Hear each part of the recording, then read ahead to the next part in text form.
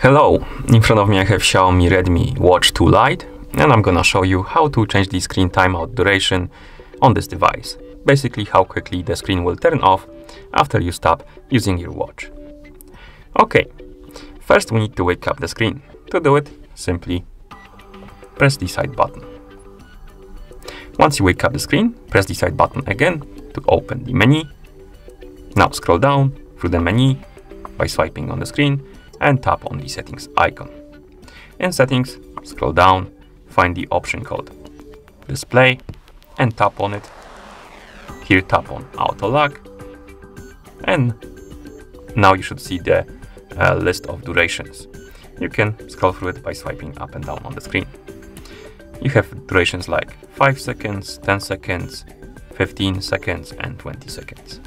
Select the one you like and then tap on the check mark to confirm.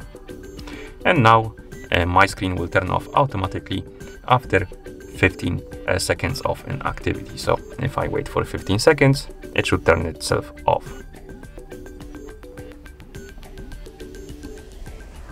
Like this.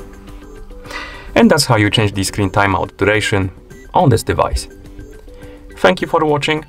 If you found this video helpful, please consider subscribing to our channel and leaving the like on the video.